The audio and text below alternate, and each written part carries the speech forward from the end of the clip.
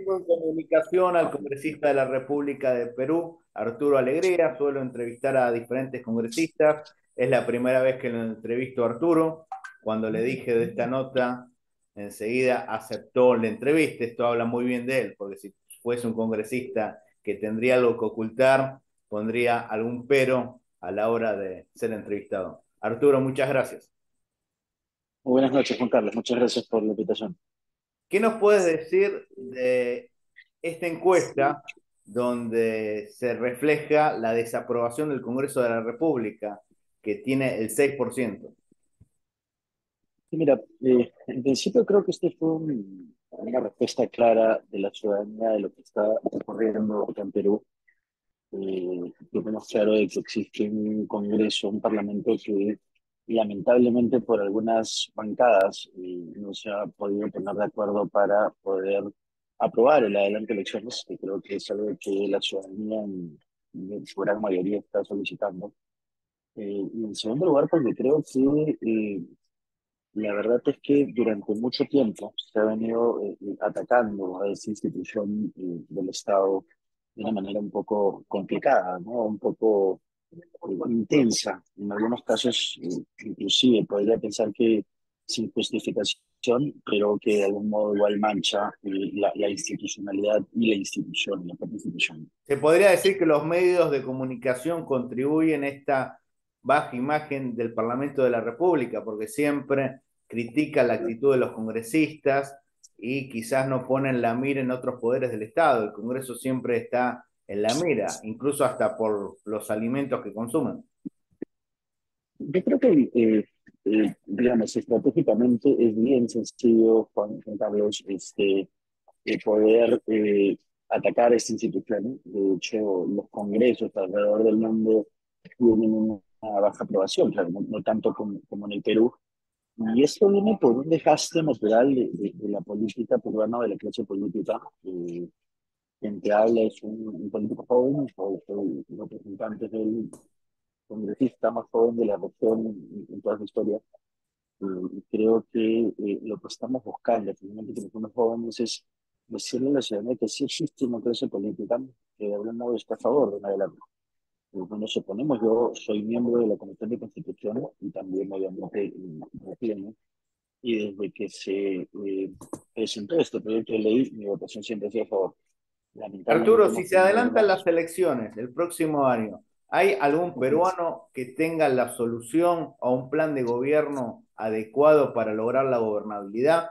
Porque si se adelantan las elecciones, eh, hay muy poco tiempo para hacer un trabajo, buscar técnicos y profesionales.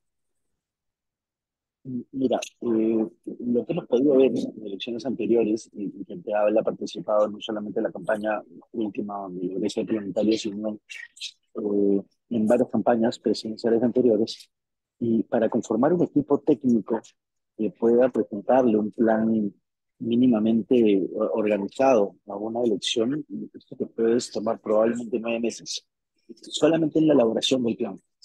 Eh, estamos hablando de que vamos a tener en elecciones, tenemos en abril del próximo año, y yo creo que vamos a tener de algún modo eh, algunos eh, planes que van a ser muy esporádicos, muy fáciles, muy sencillos, sin mucha información necesaria o relevante del análisis de la, de la política nacional o de la institucionalidad peruana.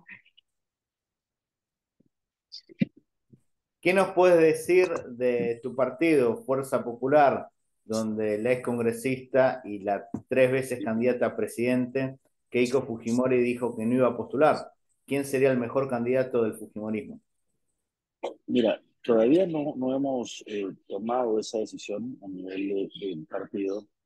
Eh, creo que Fuerza Popular tiene cuadros de sobra como para poder asumir un reto tan importante como el de postular a la presidencia. Eh, hay que salvar también el emprendimiento de, la líder de mi partido, el técnico de no postular, que sea que tiene todas las prerrogativas, y yo creo que es probablemente la eh, mujer líder más importante de los últimos años en la clase política peruana.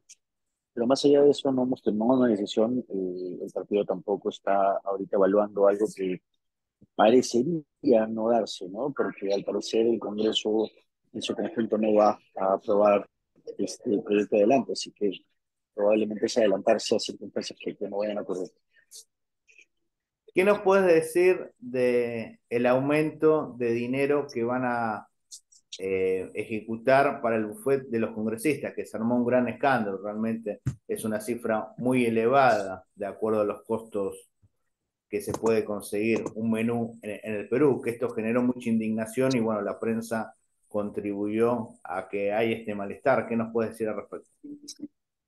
Sí, mira, eh, en principio esto es un tema meramente administrativo.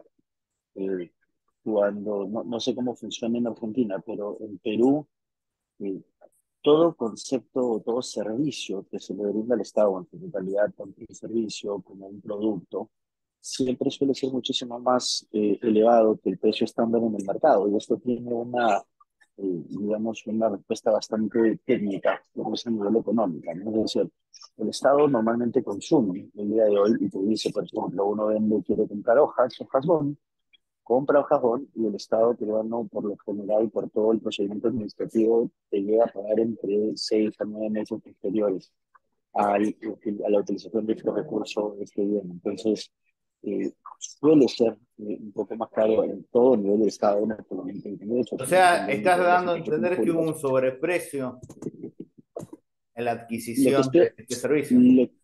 Lo, que estoy dando a entender es que todos los productos que se venden al Estado en general eh, tienen un, precio un poco más elevado que el costo normal del mercado. sin embargo, sí creo que es importante entender que pero esto está mal. ¿Por qué al, Estado se lo vende más caro? Si el Estado administra plata de todos, de alguna manera, disculpa, tú estás como justificando, diciendo que esto es algo normal cuando no tendría que serlo. El Estado tendría que administrar bien los recursos y pagar lo menos posible, ya que es plata de todos los peruanos. Claro, por eso te vuelvo a repetir que eh, no, es una justificación, sino que funciona como el modelo que se tiene acá. Es decir, el Estado normalmente suele ser un pagador de largo plazo. Entonces, cualquier proveedor que le venda al Estado sabe que lo que le va a entregar el día de hoy recién va a poder percibir el pago de aquí a seis o nueve meses. Entonces, el valor del dinero en el tiempo también tiene un costo. Y esto normalmente siempre se asume o se agrega al, valor. Más allá de... Que no tendría que ser así porque el Perú no, no sufre inflación, a diferencia de otros países. El dinero de ahora en seis meses seguramente va a valer lo mismo a, precio dólar. Y esto probablemente tiene que ver mucho con algo que sí se está trabajando en el Congreso, que es eh, la ley de contraprestaciones del Estado, porque lamentablemente eh, cuando tú ves un poco cómo funciona la dinámica estatal la dinámica peruana, te das cuenta de que el Estado es probablemente el peor pagador en general, y son muy pocas las empresas realmente que visitan el Estado porque saben que de algún modo siempre va a existir un riesgo, no solamente político, sino a veces administrativo, y lo peor es que tener corrupción de por medio, esto se suele incrementar mucho más. Así que creo que en resumen yo estoy completamente de acuerdo en poder revisar ese contrato y hacer el área administrativa, eh, y en base a eso seguro darán, darán cuenta finalmente a la mesa directiva y ya, ya luego nos darán cuenta nosotros como parlamentarios. Muchísimas gracias, Arturo, por esta entrevista, que esperemos que no sea la última y valoro la sinceridad de tu respuesta, aunque van a generar polémica esto de que al Estado se le vende a, mayor precio y ustedes tienen que fiscalizarlo, porque son un poder del Estado. Ustedes no son simples ciudadanos o analistas políticos. Y un rol del Congreso es fiscalizar, legislar y representar. Muchísimas gracias, Arturo. Que viva el Perú. Muchísimas gracias, Juan. Hasta luego. Buenas tardes.